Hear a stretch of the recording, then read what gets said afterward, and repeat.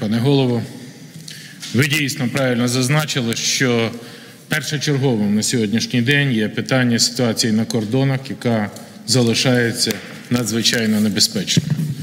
Я пропоную вам проаналізувати, що влада робила останніх два тижні. Причому цей аналіз зроблений журналістами і аналітиками, за що я їм дуже вдячний. 31 жовтня і 1 е, листопада Вашингтон Пост і інші впливові авторитетні видання повідомили про загрозливу концентрацію російських військ біля кордону з Україною. Показав супутникове зображення споруд і з'єднань першої танкової армії Західного військового округу.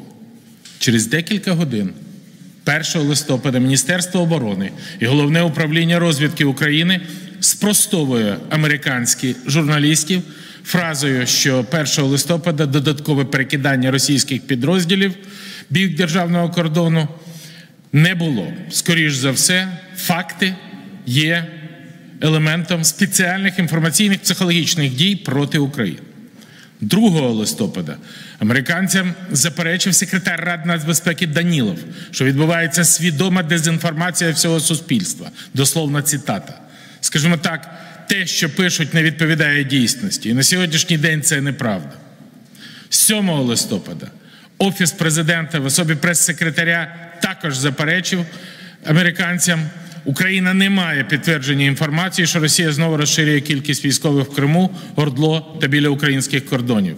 Міноборони називає ці повідомлення елементами психологічного або пропагандистського тиску.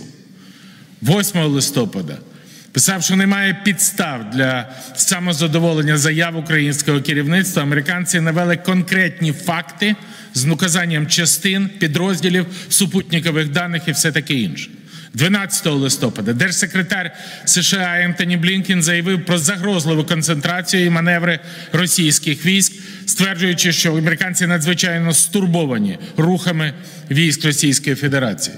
Я не можу сказати, що планував російський президент, однак ми боїмося в зв'язку з нинішньою ситуацією, адже пам'ятаємо, що було в 2014-му. І лише позавчора Офіс президента нарешті визнав загрозу з боку російських військ і виявилось, що Україна має всі підстави для занепокоєння, оскільки російські маневри несуть характер прихованого зростання. І за їх словами, офісу президента російські війська провели комплекс широкомасштабних командно-штабних навчань біля державного кордону. Після завершення лише особовий склад повернувся до міст постійної дислокації. А вся військова техніка, включно з танками, бойовими машинами, ракетними системами Іскандер, залишилася на кордоні. Незбагненно два тижні українська влада чого заперечувала і брехала, і після цього вона хоче, щоб наші союзники і наш народ їй довіряв. Абсолютно східна ситуація з ситуацією з вагнеровцями. 16 місяців українська влада бреше про відсутність цієї операції. Спочатку вона стверджувала, що операції не було. Потім казала, що це була не українська операція, і от дочекалася до того, що вже провідні іноземні змі будуть оприлюднювати цю позицію. Спочатку це можна було би пояснити лише як помилку. На сьогоднішній день інакше як зраду кваліфікувати це не можна.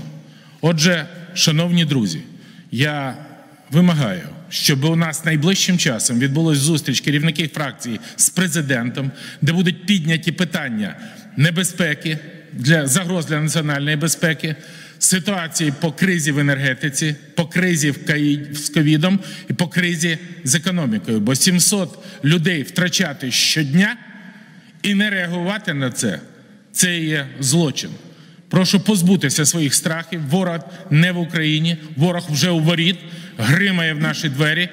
І ми вимагаємо невідкладно застосувати весь наявний захід і інвентар е, досвіду, підключивши парламент, а не лише монобільшість.